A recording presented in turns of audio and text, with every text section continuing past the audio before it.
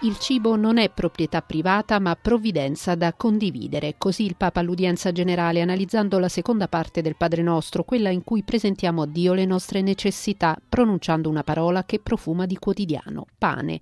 È Gesù, ha spiegato, che ci insegna a chiedere al Padre il pane quotidiano per l'intera fraternità umana. Pensiamo ai bambini che sono in paesi in guerra, i bambini affamati dello Yemen, i bambini affamati nella Siria, i bambini affamati in tanti paesi dove non c'è il pane.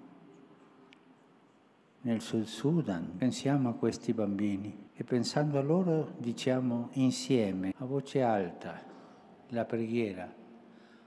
Padre, dacci ogni il pane quotidiano. Al termine, il Papa ha consegnato un'onorificenza pontificia a Suor Maria Concetta Esu, 85 anni, originaria della Sardegna, missionaria in Africa da quasi 60 anni. Salutando la religiosa che nella sua vita ha fatto nascere migliaia di bambini, ha ringraziato tutti i missionari e le missionarie che, pur non facendo notizie sui giornali, ha detto, seminano la parola di Dio con la loro testimonianza. Il Cardinal Umes, che è l'incaricato dell'Episcopato brasiliano, di tutta la Massonia.